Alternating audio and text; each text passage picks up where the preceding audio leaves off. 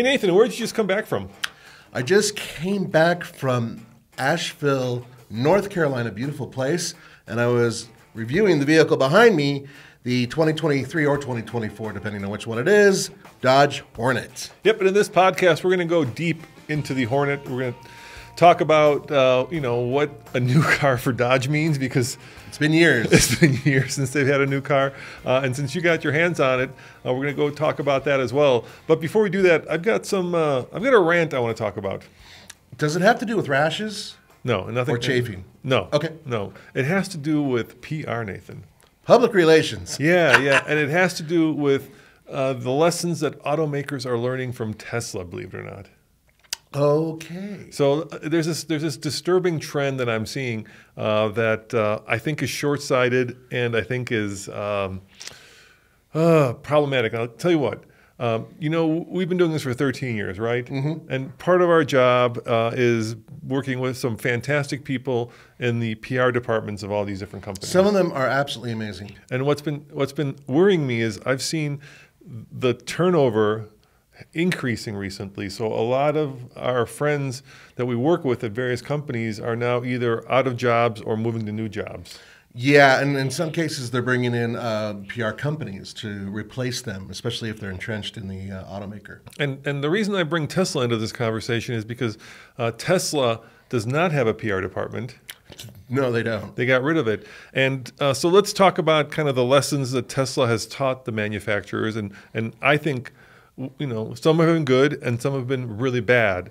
Uh, and I'll give you the example of good ones, and All then right, we'll give you please. example of bad ones, right? So good lessons that Tesla has taught uh, traditional, dare I say, legacy car companies is, for instance, over-the-air updates.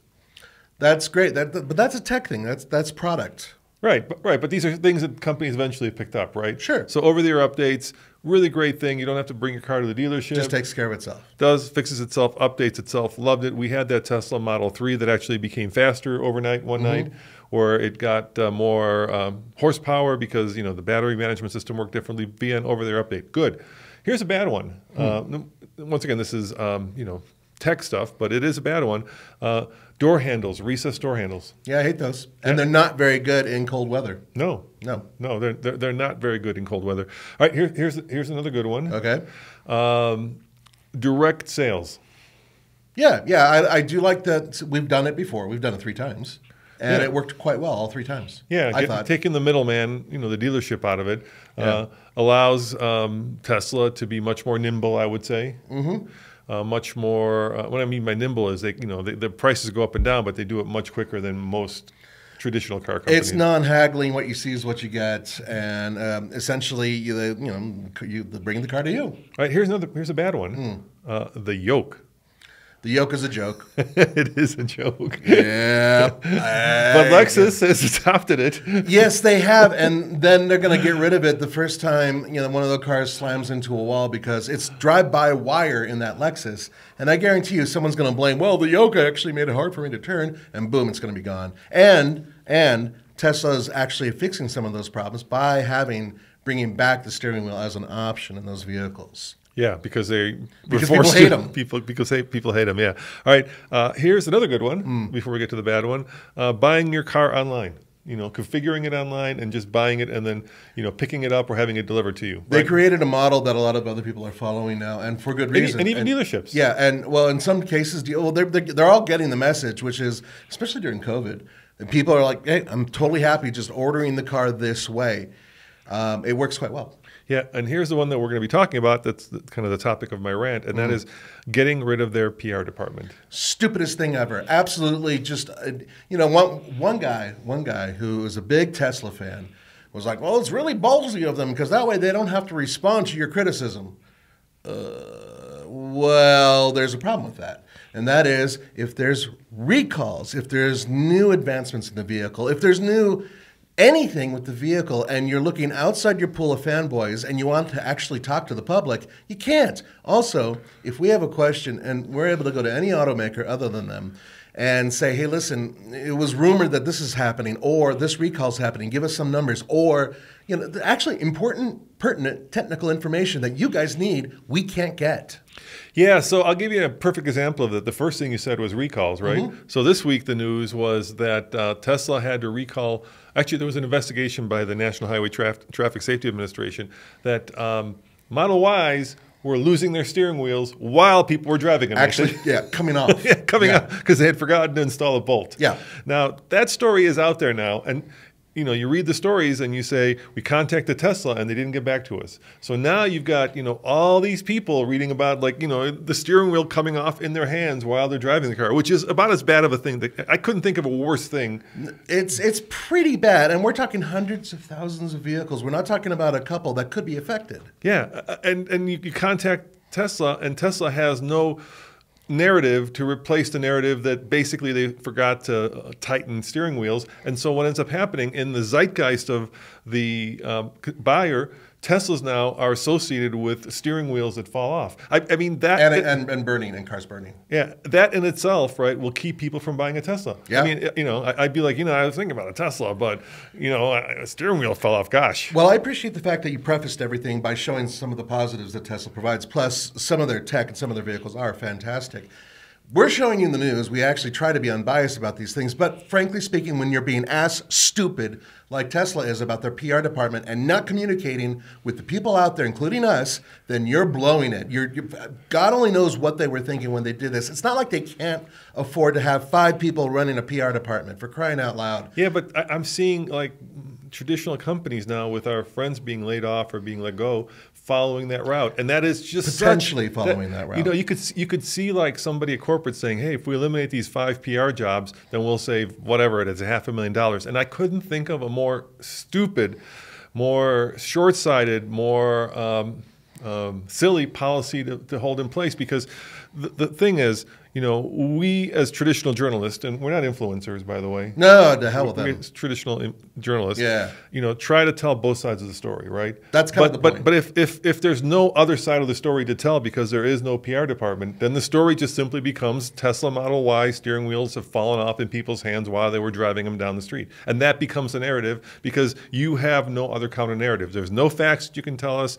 because you don't reply to our emails, and I think it comes from kind of this arrogance that is part and parcel of internet companies, Nathan. Yeah, I you know what agree. I mean. I mean, yeah. like Facebook, Google. You, you, pick the company, right? Yeah. And there's nobody you can talk to at these companies. Nobody. It's like they they they don't seem to care about their customers, which are the people who use use their products. Unfortunately, with automotive products, there's a lot of competition. There is a lot of competition, and lives are at stake. I'm sorry to say it that way, but it's true. And if you're waiting for a text to come from your God and Savior saying, "Well, we have that, we have a fix for that," and stay tuned for that, that's not how you communicate with everybody. And by letting media know, rather than just going over to you know Twitter and saying, "Oh, okay, well there was a mention of this here," that doesn't cover the whole point. There are numbers that actually are contacted through the NHTSA, which, by the way, if we ever find reports out there on that, we always put up there on our websites so you guys have the resources to go and contact and find out whether or not your car is affected. But there's more to it. It has to do with everything down the line, and that's why the PR department does have a reason to be. Now, look, we don't get along with all PR departments. Subaru is a really good example of a horrible PR department, but I'm glad they still have one at least so they can talk to other people. But the bottom line is this if you don't have a PR department, your communication skills are being screwed. And by continuing to do this, if this is a trend, you're going to hurt your own company and you're going to hurt the people who buy your vehicles. Yeah, and, and it's actually, you're, you're starting to see the, the, the downside to not having a PR department. Because look, obviously with Tesla, you had this bombastic, or you have this bombastic CEO who mm. was both the marketing and the PR department all in one, right? Yeah, it yeah. all comes from him, right? So the way that Tesla sold cars was instead of having commercials, which is, is, was kind of brilliant, right? They would do things like put fart mode in the car. They got social media buzzing about, hey, look, I, you know, you could, I could make my mom fart when she, you know, turns left, right? Yeah, yeah. right. and there was a whole bunch of these kind of things that the Teslas did, which was a lot of fun. That, that got, you know, that were very tweetable or Facebookable or video right. makeable, right? Uh, but the key there is you have to have this kind of bombastic CEO who then becomes the face of the company. Most car companies do not have bombastic CEOs, right? Most most CEOs are, are people who are kind of um, like not like Steve Jobs or, or, or, or Musk. They're more you know caretaker CEOs, right? Because the company's been around a long time, and their job is just to keep the train moving down the tracks. You know, at the end of the day, the CEO represents thousands and thousands of people and represents the people who are interested in the product. They have to have a certain type of button down personality that can work within all of them and be a proper representative. Look, I'm not going to go on a rant about Elon Musk. I don't care. And I'm not going to help increase or de- decrease his viewership based on my opinion. But I will say this a lot of people out there who are way up there on their high and mighty peak do not bother looking down at the people that they're stepping on. That's that's the bottom line for me. Yeah, yeah, and like I said, you know, if you don't have that kind of bombastic CEO, uh, then that strategy is not going to work for you. And the other thing I would point out is there's a reason that companies have PR departments, right? Mm-hmm. It, they didn't just like they, they didn't like come part and parcel when Ford started, right? Right. Bad things happened at Ford. You know, you can think back to the Henry Ford days, right, where where, where people got beat up, unions got busted, oh, and all of a sudden the company wanted to tell its side of the story. So they said, you know what, we need to be able to tell our side of the story, not just the other side of the story. They became much more transparent, that's for sure. And and, and you know, taking this kind of approach where you know we don't care about our customers enough to actually have a department that answers to to the people who try to represent our customers because that's our job, right? In, in a way, because we have this outlet. Mm-hmm. Um, and we know that's our job because we get emails from you every day when companies don't respond to your gripes or your problems every or your day, yeah every day yeah. And, and then we hopefully because we have a much larger audience take up that mantle and hopefully you know bring attention to problems that, that, that may be getting swept under the rug. But when there's no PR department, then all that the company is saying is we don't care about our customers. That's that's right. basically what Tesla is saying. We do not care about our customers enough to actually have people to answer the questions that, that people representing our customers may have. And I know I'm going to get a lot of crap from the Tesla fanboys and right. fangirls out there, but um, but, you know, but but no, you're right. I mean, prove him wrong. That, that's that's pretty much it. Okay, let's we're going around and around on this. Yeah, okay. We're, let's, we're let's, let's talk about the Hornet. Okay, now first of all, uh, many of you may be wondering why is the Hornet a big deal? The Hornet, by the way, many of you might be thinking, well, well, that name comes from the past. Yeah, AMC, if you remember back in the day, they had a Hornet, but there's a lot of other uh, insect uh, references that um, FCA and now Stellantis is using. Um, so just just keep that in mind. That's all part of the. What, what other cars are named after insects? Well, they have you know honeybees and no, they had they had the what, what, was the bee? They had the. Uh, they had the bee, something the, the, old muscle car with the little bee on the side. What yeah, yeah, that? that's uh, the, the, bee, the uh, the rumblebee. Rum, yeah, wasn't it the rumble bee? No, it wasn't the rumble bee. It was something like that. Um, Correct us if I'm wrong, but there was. I just I'm not a big fan of, of, of, insects and little little animals and cutesy things. Although they did a pretty good job with hornet, kind of scary, especially when you think of murder hornets. And we'll is get it, there. Is there a fly? No, there's no fly. There's no fly, but uh, there's there's caterpillar. No. Yeah, there is a large company called Caterpillar that actually moves right. Earth. Yeah, but, but they're not in the car world. No, not really. Hmm. Um, it's been many, many years since Dodge has actually produced a new vehicle. Now, think about it. I know you're like, well, wait a minute. What about these these new last call ones? No, no, no, no. I'm talking about actual new car. And this is a new car for Dodge. The last one that they had that was new was many years ago, and that was the Dodge Dart, which, to be honest with you, did not go over particularly well. It, it, it was a bit of a dud. Now, fast forward over seven years, I think, um, to today the Dodge Hornet, there's two different types. So there's, the Rumblebee was a pickup truck. Rumblebee was a pickup, pickup okay. truck, yeah. Um, anyway, I'm sorry. Um, I just, so had a, I just totally threw me off. I know, sorry. So there's two different uh, Hornets. There's the GT and there's the RT, and they are very different vehicles. Um, currently, if you look at the large batch of vehicles out there, I hope you're sitting down because this is what this car is going to be competing against. And it's very interesting the path that Dodge is taking. They're going up against the Honda HRV, the Toyota Corolla Cross, the Chevy Trailblazer, the Mazda CX-30, the Hyundai Kona, the Kia Seltos, the Jeep Renegade, the Subaru Crosstrek, among others. And in their price, eh, where they're living in terms of price, they're also competing against more expensive vehicles, including their own vehicle, the Alfa Romeo Tonale, which is the platform that this car is based on. Yeah, that you know that uh, I'm gonna call it uh, compact crossover segment is really red hot right now. Oh, super hot. Yeah, It, yeah. It's been hot for years, but It it's has. really it has really heated up. There's two segments in the automotive world that have gotten really hot recently, Mm-hmm. uh, and I know that because Tommy just went on a program for another one of them. Uh, and you know, this is the sub kind of compact uh, uh, crossover segment, and the three row is red hot right now too. Yeah, yeah, it Both is. those segments are just anything that's non-truck these two segments are the ones and if you think about the size of the uh, hornet it it actually it sort of slots in between the compact and subcompact so when I mentioned Honda HRV, it could also go against the Honda CRV to a certain degree, Yeah, even though the CRV is bigger. And I was just uh, previewing the new uh, Kona, Mm-hmm. and they made it a few inches bigger and a few inches wider. So it's also now kind of lives between that. So it, it, it lives between like the HRV and the CRV. Which is exactly why I put it on this list. Yeah, or the Cross Cor- Corolla Cross and the uh, Rav4, right? Mm-hmm. Somewhere in between in terms of size. Exactly, but but that whole segment, when you combine them all together, sells millions of vehicles every year, and many of us just are done with the idea of being in you know low slung sporty sedans or, or you know the equivalent. These are much more popular, and essentially what you're talking about here with both the Dodge uh, Hornet RT and GT is essentially a hot hatch on stilts. That's exactly what this is. Now, I can't tell you what the driving impressions are yet. That happens on the 22nd of the month, but I can tell you everything else about these two cars. All right, well, um, let's start with something basic. Uh, and I know we can't talk about driving impressions. What do you think of the styling?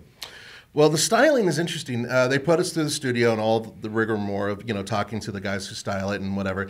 Um, it looks like a Dodge from the front and from the back, and that's because what they did is the squinty eye look that looks very similar to the ch- uh, Charger, and of course its big brother, the Durango, right in the front and in the back. If you look at the rear taillight design, it's very similar to a Durango, just smaller. But from the side view, it's and I, I'm sorry to be mean about it, but it's as uninteresting as a Honda HRV or any of the other vehicles. Hmm. So it's it's really hard to make Kind of rounded a- off box. Right. It's it's really hard to make a crossover look good from the side. Um, that they have different wheel designs. They're all decent. I, black wheels to me always seem to remove the emphasis of the cool design of the actual wheel, and you almost lose it in the image. If you guys are able to watch what we're doing right now behind me, that image, those are black wheels.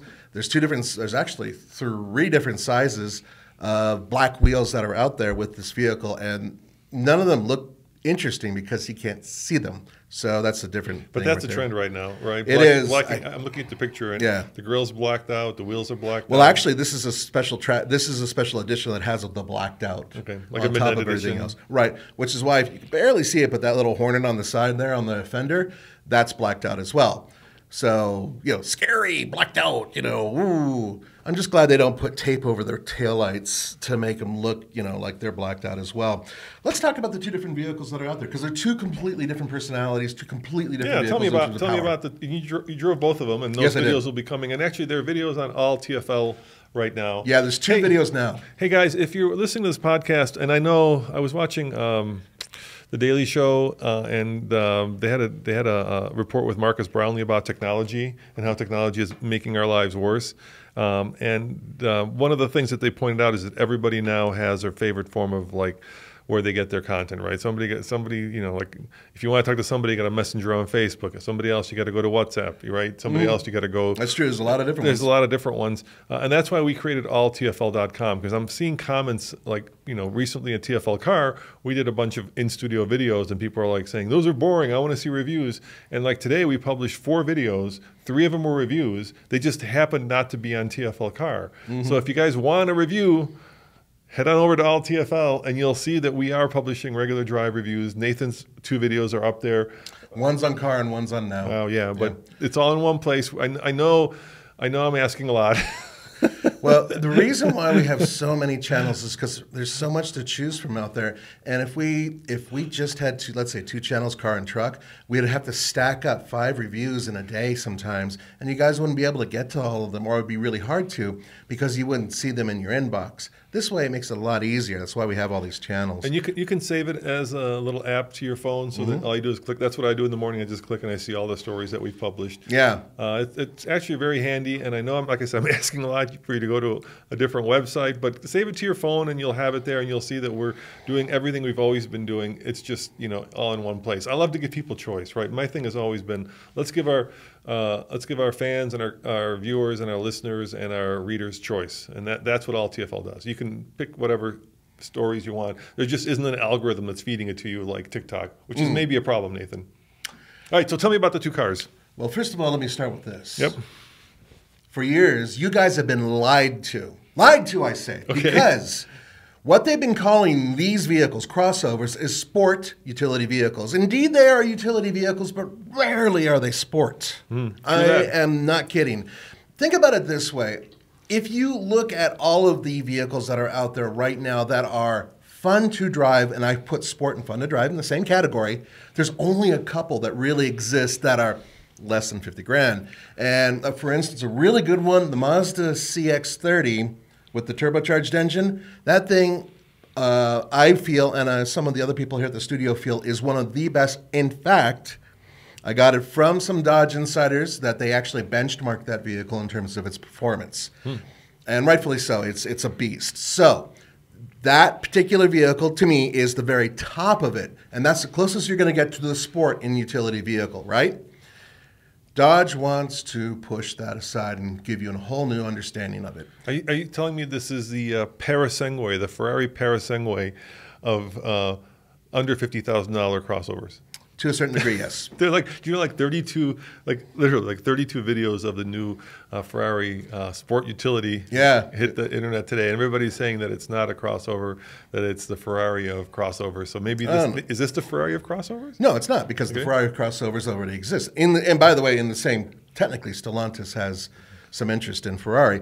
Uh, no, no, I'm going to say that this is instead of the They used, Ferrari. own, they used to own Ferrari. yes, they did, but I will say this is very similar to the Alfa Romeo. Of wait a minute, oh, Oh, I just. By the way, they don't like it. Uh, the Dodge people were a little ticked off when we were asking. So, based on the platform of the Tonale, and they're like, no, no, no, hey, we don't talk about other people. This is our car, not their, you know, that type of thing. So, Hey, let's uh, pay some bills real quick. let's do that. All right, so tell me about All the two cars. All right. First of all, there's the GT. The GT is essentially the entry level car. There's no base engine that's weak or mild. No, no, no, no, no, no. They have a two liter turbocharged engine. This is standard that gives you 268 horsepower, 295 pound feet of torque, and it's going through a nine speed automatic transmission and standard all wheel drive. This is what you get right out of the box, and according to them, it is the most powerful crossover in its class for under 30 grand. Now, realistically, you're not going to get it for that because once you add destination everything else, you're coming close to 32.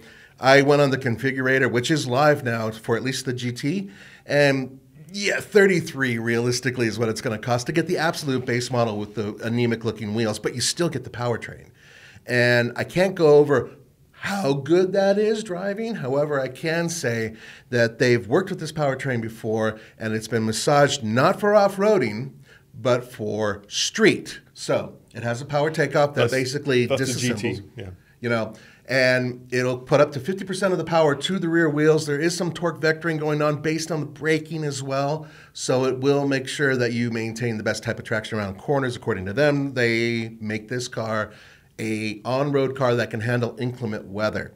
Okay, so what's it about in terms of size and everything else? It's actually a slightly larger vehicle than many of its competitors on the inside. So 22.9 cubic feet of cargo space behind the second row, over 55 when you fold down the seats. That's comparable to many in the class and better than many. So it's kind of right in the middle, but it's a little less than, say, the Toyota Corolla Cross.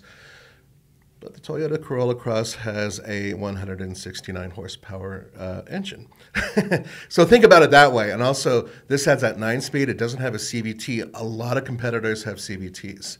So that's the GT. Right? That's your base form. All right, let me ask you this before we move on. Mm-hmm. Do you like the name? So uh, I'll, I'll tell you a story um, that happened to us. Super B. That's the name of the Super Dodge. B. Very good. Yeah, Crying out Super. B. Sorry, guys. Not enough coffee in me yet. Yeah, and there's, was there a wasp too? Was there a wasp or no? Uh, no, but there are many people who are wasps who. Are, oh no, sorry. Go on. I'm just trying to come up with like insect names of cars. It's now it's stuck in my head. Like what other cars are named after insects? There's, I don't think there's any ants. Uh, no, and- or cockroaches. Strangely. A spider? Scorpion. Scorpion, Spider.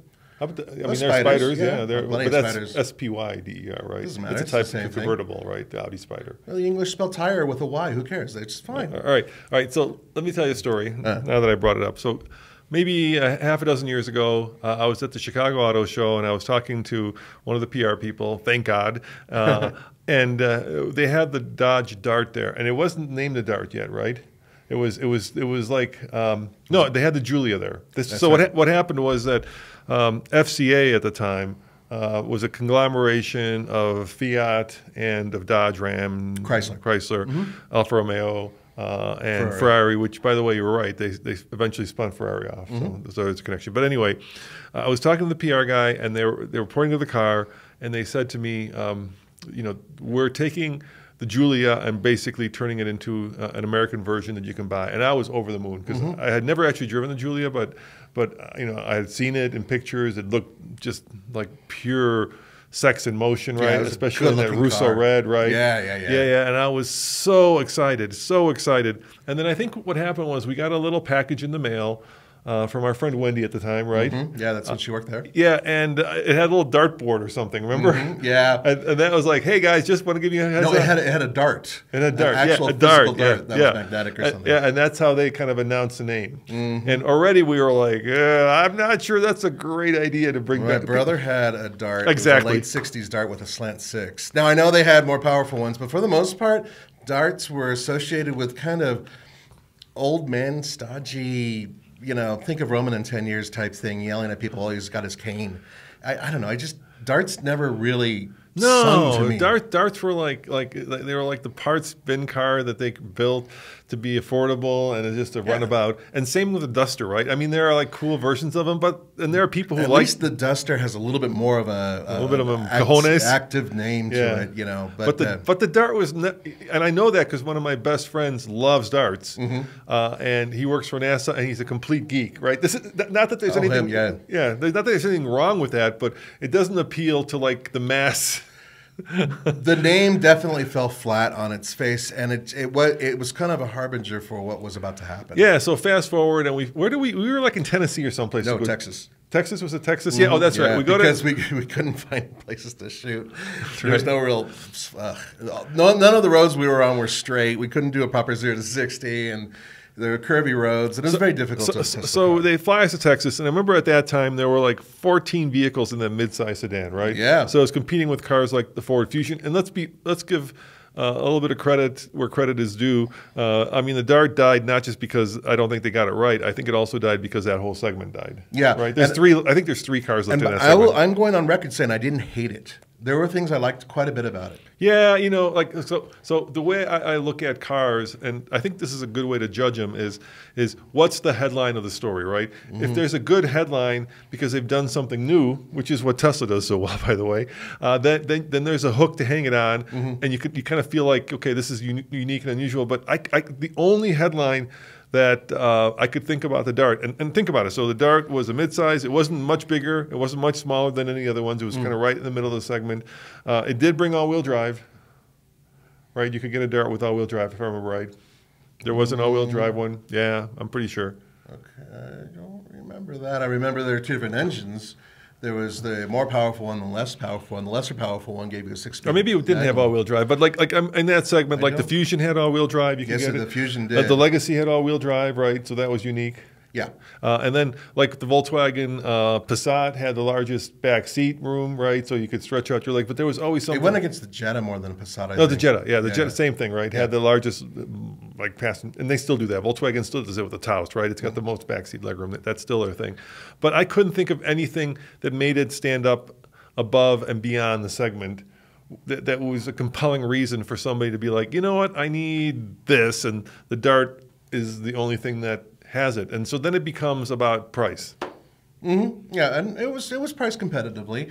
And at first, when they were showing, you know, us the vehicle, they were also talking about a lot of aftermarket or uh, in-market features that they would provide and the car to be super unique. And it had some unique features. Like, for instance, it had this underseat storage in the passenger seat where it, lit, it went forward and you can store stuff in there, which was great. But unfortunately, the passenger seat was not the most comfortable, I think, because they didn't allow it to have too much foam. Yeah, I don't think it had all-wheel drive. I'm, I'm, Googling it. I think it had front-wheel drive. It was front-wheel drive. Yeah. Um, back seat space was decent, but headroom wasn't so great. You know, I mean, there's all these little things, big, pretty big trunk. But it didn't do anything that was particularly spectacular, it, and it, that was part of the problem. It had one unique feature. Do you remember what that was? Manual transmission was available. It was a good one. No, one one really unique feature. I haven't seen any other car. Uh, I'll give seat. you a hint. Yeah, what? The seat.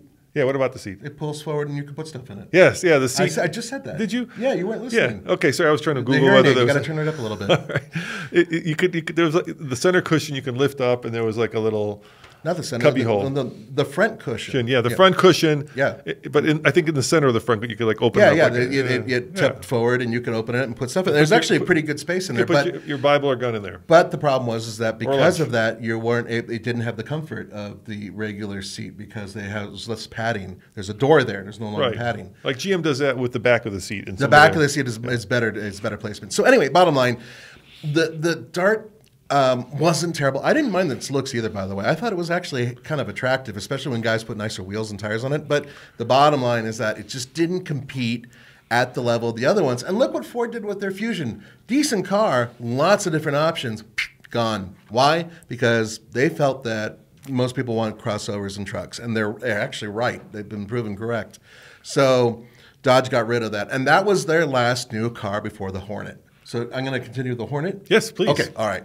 So we talked about the GT and its entry level and its entry level price. Now, by the way, that GT not that efficient. Combined MPG 24 miles per gallon. That is not the worst in class, but it certainly isn't the best in class. It's it's near the very very bottom. Obviously, because you have that turbocharged engine with all that horsepower, and this is Dodge's point. They're saying we're not building an economy car, we're building a very muscular car. And with these horsepower numbers, that's not a surprise. Now, let's move on to something that even produces more power. Now, it has a 1.3 liter four cylinder engine, tiny little turbocharged four cylinder engine, but it has electric motors backing it up, and that's the RT. The RT is a plug in hybrid, has a 15 0.5 kilowatt hour battery, which is stored in the back near the gas tank. Don't worry about it; it's not going to be an issue. Just please don't worry. Um, but what that does is that also creates much better balance. It's 48% weight in the back, 52 in the front, which for crossovers usually is actually quite good. Normally, a lot more weight is up front on these uh, vehicles. And one of the reasons why it has a lot of weight in the back is because, well, here's the horsepower numbers: 288 horsepower, but more importantly, torque. 383 pound feet of torque. Wow. That, that is enormous for a vehicle like this.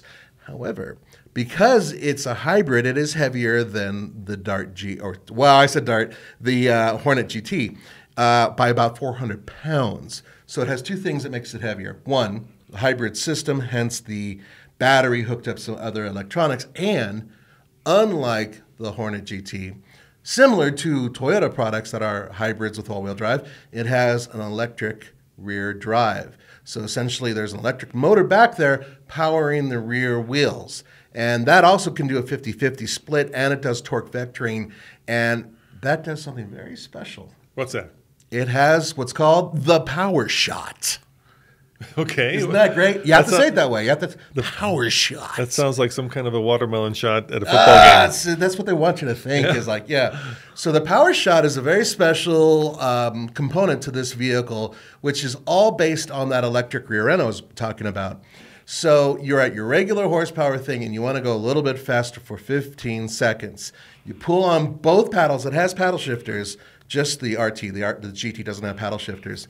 And what that'll do is, if you're in the right mode, which is a sport mode, it'll actually allow you to use the power shot once the indicator comes on, and you get 30 extra horsepower for up to 15 seconds. So you know who else does that, right? Hyundai with their N cars, right? They have the N Grin, right. right, which does a similar thing, and there's a little counter that counts you down. I don't think it's. I think it's only 10 seconds with those. Not too sure to be and, honest and it's you. yeah, and it's not. I don't think it's 30 horsepower. 30 horsepower is actually you can feel that. It's quite a shot. It's quite a shot in yeah. terms of the numbers, but I can't tell you how it feels. Yeah. yeah 20 second, you'll be able to hear how it feels. And here's the good news about that it doesn't just work um, as you're driving, it also works off the line, kind of like a primitive form of. Um, what you call it? Uh, you know, when you hit a button. and you Traction, take- uh, no, uh, launch control. launch control. Yeah. Thank you. God. So, so tell me about the interior. How is The interior?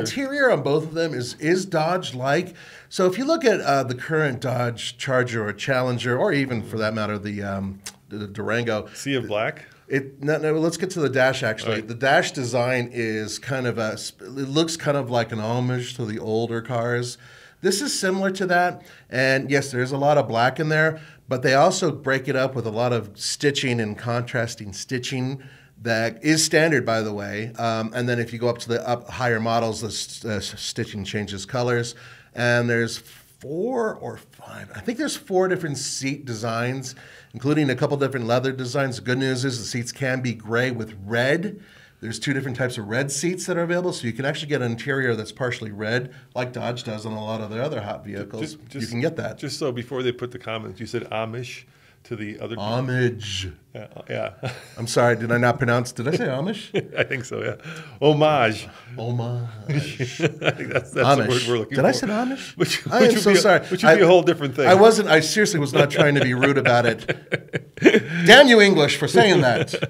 So, so do you like it? I can't say that, right? Because, but I can tell you. Well, I can tell you about the interior and the exterior design. Yes. Yeah, I mean that's not a driving it's, impression. it's, it's nice. The seats in the top of the line, full out version that you get with all the options, which is well over fifty thousand dollars, by the way. You can get a fifty-two, fifty-three thousand dollars if you throw all the options in it, and suddenly that is a very expensive vehicle for its class.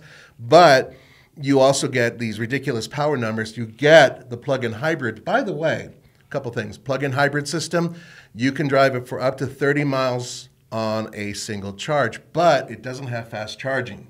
So you can only do level two. However, from all the way empty to all the way full, they say is in or around or possibly under 2.5 hours. Or if you plug it into your 120 at home, about seven hours to charge it all the way up. Um, and I did drive it a little bit on electrical, but honestly, I was just like, no, I need all the power. I want to have some fun. And it is a very heavy vehicle when you compare it to its little brother. As I said, 400 pounds of extra load. That's a lot despite these power numbers. Uh, a couple other things, real quick. Um, 2,000 pounds both vehicles can tow when properly equipped, which is as good, if not best in class, for most of these vehicles, especially considering that it's a performance one. Dual exhaust tips that are actually functional on the RT. Thank you, because I can't stand the fake ones. Um, and the overall design of the vehicle underneath, everything under the skin essentially comes from the Alfa Romeo Tonale.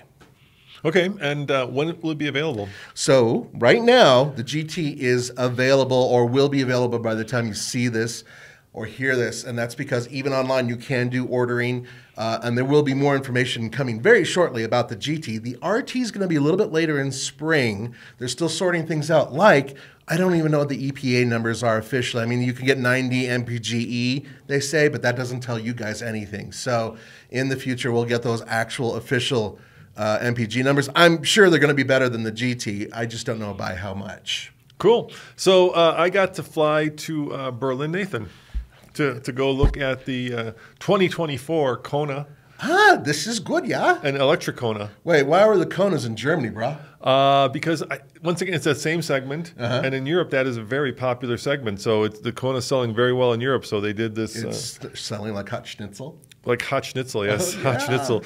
Uh, unfortunately, I was I flew in, uh, went to dinner, uh, filmed the car, and the next day flew home.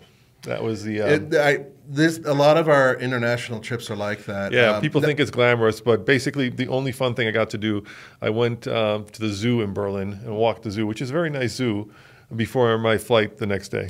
You know, uh, there's a band called the Scorpions. Yes, I know German the too. Scorpions, I'm yes. sure you do. Um, and they have a song called "The Zoo." It's great. So let me tell you about the Kona. Okay. Um, it's um, it's you know um, remember when the Cherokee first came out and that picture showed up where it looked so weird in the factory where the main lights were below what used to be the Well, that, they were one of the first to really do that. Yeah, now now that language has become ubiquitous in some ways, and Yeah, a the lot Kona of people has that. There's it. like a long, thin line across the front of it, Mm-hmm. and the main lights are below it. And basically, what I think they took kind of what was very kind of quirky design and made it more streamlined. Um, and their goal with both the Kona and the Electric Kona was to um, basically make it a little bit more upmarket. So make it a little bit more expensive, and you get a sense for that. And what they did was they made it a few inches wider, a few inches taller, a few inches longer to give you more Space. to give you more space. And then they kind of brought the interior uh, um, inside and uh, well, interior inside. Of course, they brought it and made it a little bit more um, streamlined, a little bit you know a little bit more expensive feeling. Uh, so it's it's it's a new it's a new vehicle, but in some ways it's more of a you know, because the chassis I think remains the same. So uh, they haven't announced this because this is all going to get announced officially for America at the New York Auto Show, which is coming up soon. Yeah, it is in uh, three weeks. Yeah, we'll be in Moab. You will be in Moab, but Andre will be in New I'll York. be I'll be in, um, Andre will be in um, New York. Nathan and I will be in Moab for Yeah. the best week of the year. I, I would. yeah, it's say. it's my Disneyland. Yeah. I'm very. I love driving in Moab. Uh, so so so let me finish this. So Yeah. so um, you know the, the numbers that I have are just you know kind of not confirmed, and I'm guessing a lot of these. Uh, so the electric version I think has about the same size battery as the outgoing one, Mm-hmm. and the powertrain in the gas one is the same as the outgoing one. So I think there's like 20 more horsepower in the electric one, but it weighs a little bit more, and same thing with the gas one. So basically the powertrains are about the same. Yeah, with a little bit more oomph. Yeah, and and the charging I think is up to 150, which is pretty slow. That's Maybe- slow, or but maybe it- it's 100, 100 kilowatt. It could be. slower. Yeah, it could be 100. Uh, so they're not breaking any uh, new ground, but keep in mind that Hyundai also sells the Ioniq 5 and the Ioniq 6. So if you want the latest and greatest, those would be the two. Yeah. So the on, but the but the entry level really still is the Kona. Yeah, it Uh, lives It's kind of the so point. it, no pricing, but figure between thirty and forty thousand, right? Whereas the Ioniq five and six would be the next ten thousand, 40 to 50,000, Yeah, yeah. exactly. Okay. Um, so it looked good. Uh, you know, uh, Hyundai's just on a roll. They are you know killing it right now, and I think they'll do well with this. But if you're you know if you have the current Kona and you're like, oh, I got the latest and greatest, it's not gonna like you're not gonna feel bad about having the latest one. Because this one is very similar to the one you have. Before we, we end this, I want you actually brought up something very interesting just now. Um, if we're talking about PR, so bear with me just for a second Yeah, here. sure. It Hyundai, Kia, Genesis, Stellantis, who I've been dealing with recently, um, some other ones out there, excellent PR. Yeah. Very good communications. Um, they will contact us the minute we have a question, and we often do have technical questions before we print a story or, or do a video on a story.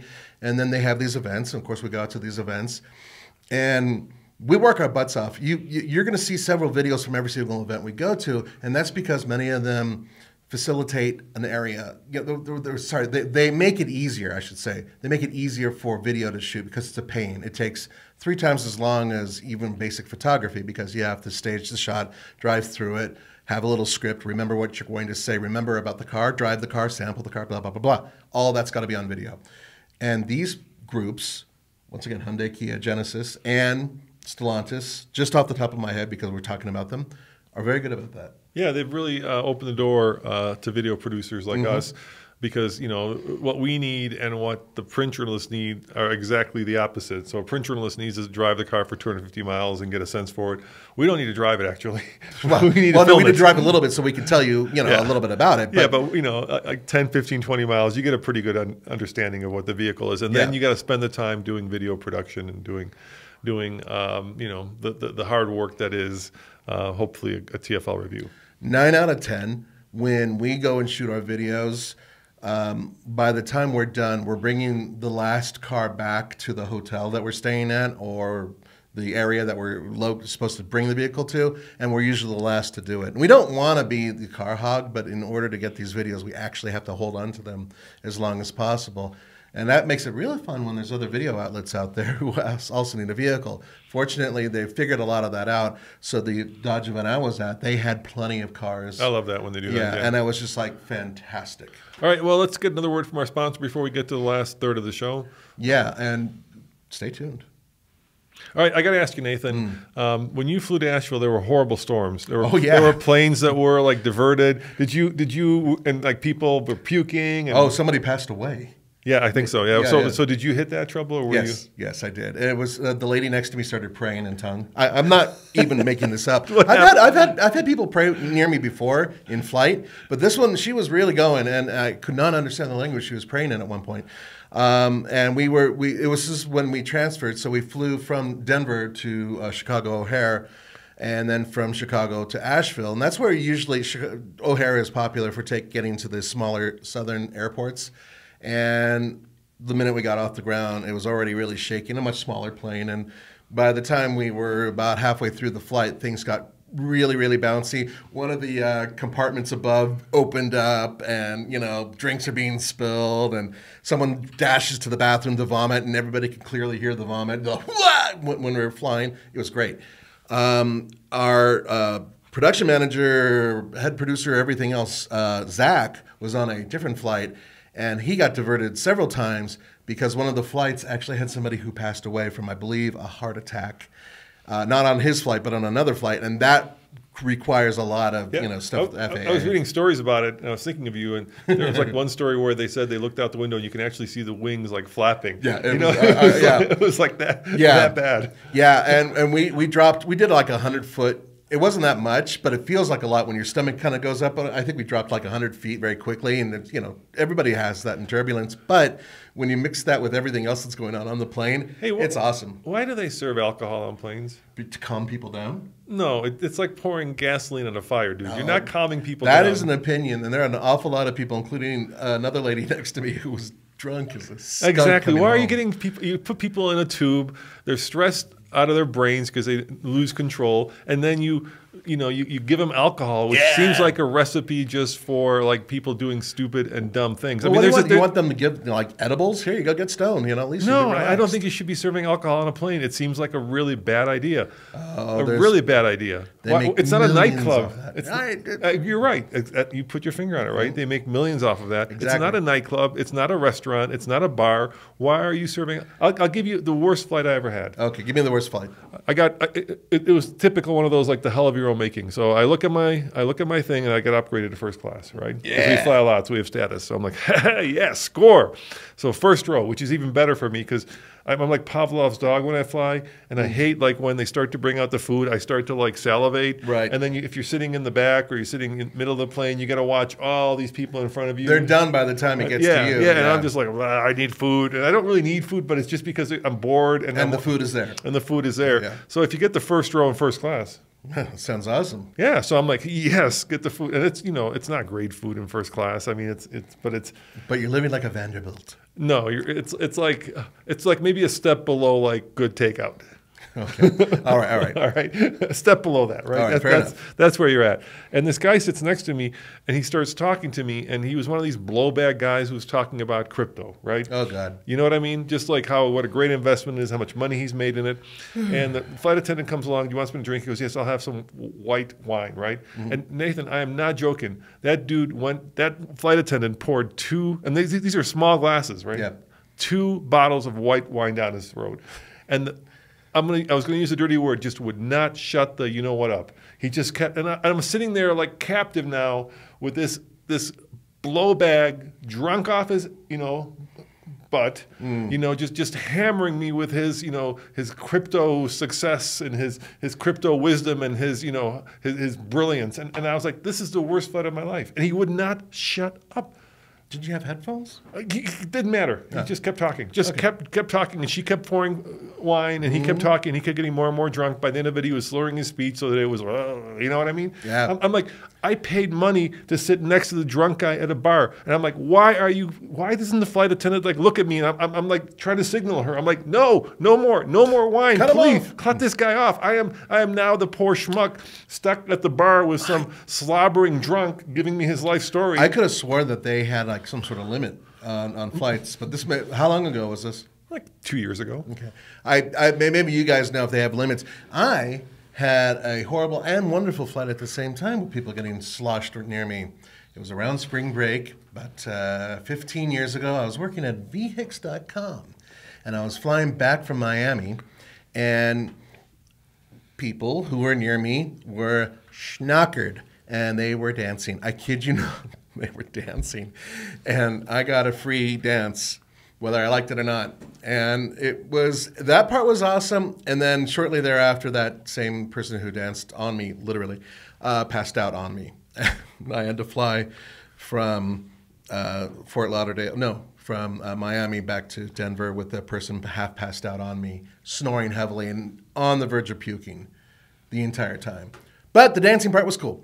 So you know, you take the good with the bad, Roman. That's all. No, no, no, no. I don't. You know, it's, how has this become like taking the Greyhound with wings? You know, there, there's there's like etiquette, and if you're a business flyer, you know the etiquette. For instance, right, the etiquette is if you're uh, in the window seat, you control the little shade, right? Yes. If you're in the middle seat, you control the armrest. Kind of, yeah. Yeah, and if you're in the aisle seat, you control ingress and egress, right? You control access, right? Mm. And, and and these are just the way we have to do it because back when you were flying, people actually had like real seats and there was actually real leg room, right? So you didn't feel like you were like completely squished. You know what I mean? Back, yeah, yeah, yeah, right? sure. There, there was like Back you could actually days. stretch out your feet, and people for some reason didn't decide to bring on their their compressors onto the plane because they didn't want to check them anymore, right? So now everybody's bringing everything on the plane, including their salamanders and geckos and cats and dogs. It's just become this like like like like very stressful. And on top of that, you pour alcohol. I don't understand it. Welcome to TFL flights.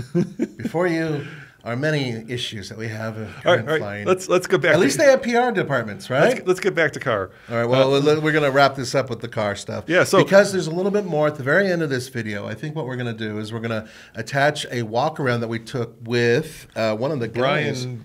Yeah, I actually have the his poop, name the pup, here. Brian DePup. He's one of the vehicle integration engineer. That is correct. Yes. And so he does a nice little walk around with us, and that is nice because we're actually able to see some of the details in the vehicle, and he'll talk about some of that stuff. So that's at the very end of this video. So stay tuned for that. But before we get to that, let's talk about our favorite week of the year uh, and what we're looking forward to. And that is, Yes. of course, the Easter Jeep Safari. Uh, so we've got a couple things going on. Uh, we just bought uh, a uh, AEV, uh, um, basically uh, upgraded JK, Jeep Wrangler JK. I like to call it the armored JK.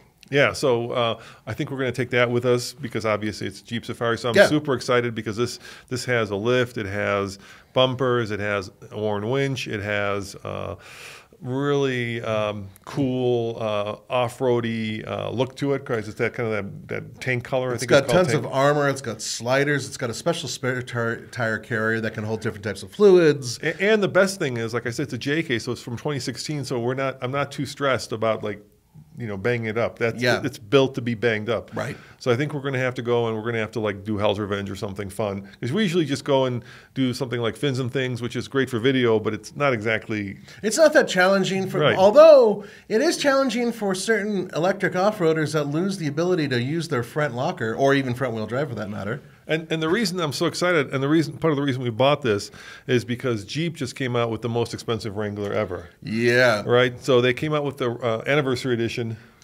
And then on top of that, it's the AEV edition. AEV edition. Yeah. So I'm guessing we don't know this, but I'm guessing besides the concepts that they have every year, uh, they're going to have one of those there. Which we hopefully will be able to get our hands on. And it's got the the one that we of course want to drive is not the two liter turbo four xe which is fine. Yeah, but it is 392. 92, yeah. So I think if we can get that eight, our hands on that hundred and ten thousand dollar, and then compare it to the one that we got, even the one that we got, dude. I looked at the build sheet on it, twenty thousand dollars above sticker for all the AEV bits and parts. Yeah, so what you do is you, you, back then you would buy one of these and then they would move it over and at the actual location put all the components onto it and that adds the extra $20,000. Um, I'll be there as well, um, bringing the my Hyundai Santa Cruz, which has a new set of shoes on it, and we're going to test that bringing, you might be bringing the, the JK. I might be bringing it the Yeah, JK. Yeah, because I want to take the Raptor too. Oh, you want to take? Okay. Yeah. Um, so you might be taking, you might be driving that JK. I might drive the JK, but Are you if- okay with that? I'm okay with that. Yeah. Um, we'll, we'll we'll figure that out a little bit later. But nonetheless, the the in reference to that Hyundai, it's still going to somehow go off road and do some sandy stuff and test out those new shoes I was talking about. But the, the JK and the Raptor, nonetheless. Plus, we have another vehicle I think we have to pick up over there. It's going to be a bunch of stuff going on. And then uh, the other thing that I'm looking forward to, of course, is that they always have some concepts. Now, for the last two years, uh, they've brought out Magneto. Yeah, Which is- that's their all electric, uh, essentially Wrangler, but it's not it's not what they're going to produce. It's just kind of a test vehicle. But I think at this point this year, I got a feeling this year we're going to see a real electric Jeep that's going to be almost production ready. And it may not be a Wrangler, it may be something smaller, right? Because uh, in Europe they have the, uh, what's the smaller one uh, that's electric? Well, oh, you mean the one that just came out? Yeah, they just came out. Oh, it's like I wish you didn't pop that on me. I know- I know we keep- the Avenger, I the think- Avenger, um, something like that. But yeah, so in Europe they have an all electric Jeep. So Mm-hmm. I, I, I can't I can't fathom with two years of kind of like you know teasing us with an electric Wrangler that they that they wouldn't have an electric Jeep for us to, to drive. They'll have something there for sure. Now, one of the things they've been building up to is they're trying to get us used to the idea of having the 4xE family increase in size, and they are increasing in size. Overseas, they have uh, two different plug-in hybrids we don't have here yet. And so those vehicles um, perhaps will start working their way over there. I'm referring to the Compass and I believe the Renegade, they have plug-in hybrid versions of. Um, over here, currently, the Grand Cherokee and of course the Wrangler, those are plug-in hybrid capable. And I think that they're going to expand that, and we're going to see some of that. Avenger. Yeah. Very good at Nathan. Thanks. I, Yeah. I, I, I haven't had enough coffee, so it doesn't come to me that quickly. But there'll be other stuff there, wild stuff, unpredictable stuff, which is what Jeep likes to do. And the best part is we get direct access to it, and we get to drive it. Though limited, we still get to take it on some light off-roading and figure the vehicle out and give you the behind the scenes with the actual people who designed and built them. Yeah, so I think I think there's some really cool stuff coming, and if we're lucky, we'll get. I hope I'm almost sure we'll get to drive the anniversary edition Wranglers. I'm pretty sure they're. I'm sure that they're going to have one there, and maybe an AEV version. And we could, if we take ours, we can do a old versus new, That would be really cool. right? And, yeah. And and I, I- you know, we, we don't have any um, sponsorships with AEV, but I've always uh, loved their stuff because I think it's about as close to like um, manufacturer spec as you can get. That's exactly it, and I think that's why not only Jeep but also General Motors And Ram. Uh, well, Ram and Jeep, yeah. But uh, the point is that they, these companies go and use them and Well, work Chevy, with them. right, with the Colorado. Yes, they uh, also the have Bison. an AEV. The that's Bison, an, that's yeah. an AEV. That's what I'm referring to. So the point is, is that they are all working within this realm because AEV builds products that really do look, at least aesthetically, like they're uh, ready to go, and on top of that, they're very functional. So Tommy was telling me the story where he was just uh, at the uh, Hummer EV SUV drive, and uh, he was talking to Scott Brady, who you, you know runs the uh, Overland uh, Journal. oh yeah, Scott's a good guy. Yeah, and he was telling him what separates AEV from some of the other manufacturers is that well, let's talk about a bumper. Right, bumpers are classic. So, so a lot of manufacturers will build a bumper, and they build very, very good bumpers, but they build a bumper by basically cutting out metal and then welding it together using great welds. You know, painting it well. Uh, which is fine, nothing wrong with that. But AEV actually has in Michigan, I guess, giant stamping mills where they actually the way the manufacturer would do it, right? So instead of- Stamp it out of one piece. piece, then- yeah. So instead of like you know building it, they actually stamp it, which obviously you know is less corrosive in the long term.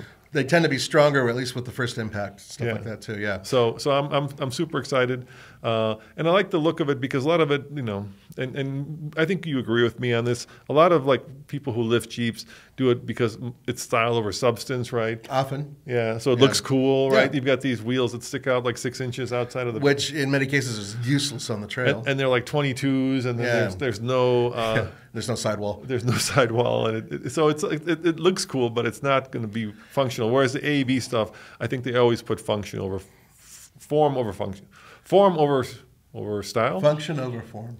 That's also yeah, function over form. Yeah. yeah, I think you're right. Yeah, I said it wrong. But at the same time, their stuff looks good, I think. All right, So, enough about AEV. so before we get to uh, Brian's uh, interview, uh, when um, when are we going to get our hands on this, and when when is the video coming out so that we can actually do Right. driving okay, impressions? so the driving impressions are coming out on the 22nd of the month. Okay, on the Hornet. Yeah, the Hornet RT, that's the plug-in hybrid powerful one.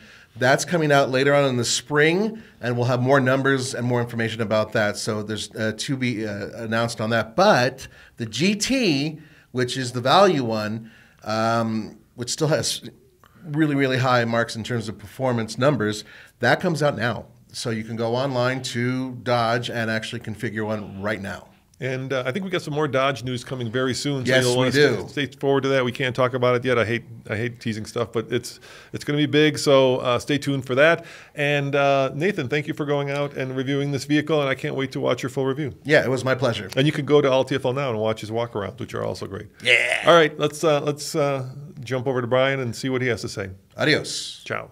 Folks, I have some good news for you because if you're sick and tired of slow crossovers, we might have a cure for you. And that comes courtesy of Dodge. This is the 2024 Dodge Hornet, and I have one of the guys responsible for this vehicle right here, and we're going to interview him right now. What is your name and what do you do for Dodge? My name is Brian Delpup. I'm the uh, Vehicle Synthesis Senior Manager for the Dodge Hornet.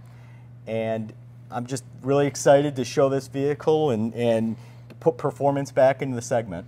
Yes, performance. And what do we mean by that? Well, this is actually the top of the line currently, and that is the RT. There's a GT, and we're going to talk about that in a minute.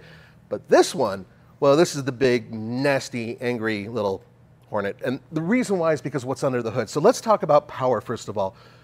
There's two different powertrains. One's in the GT, and this one is the RT with a Plug-in hybrid architecture. yeah. Yeah, so 288 horsepower, V8-like levels of torque, 383 foot, pound-feet.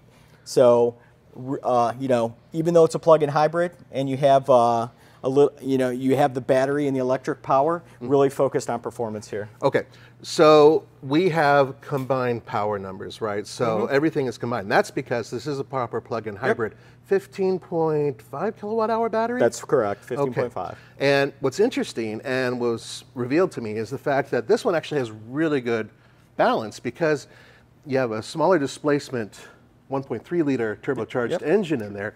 And then in the back, there's an electric motor. And how much power does that put out? 121 horsepower. Right. And that goes to the rear wheels. And as such, the battery and the gas tank in the back with the engine in the front creates better balance. And that means that aside from the fact this is way more powerful than the GT, this is also, well, technically a better balanced vehicle, right? Yeah, yeah. I mean, basically, when you look at the overall package and how we distribute weight, we're close to, I think, a 40. We're at a 48, 52 percent front to rear. So really good, really good uh, front to rear weight distribution.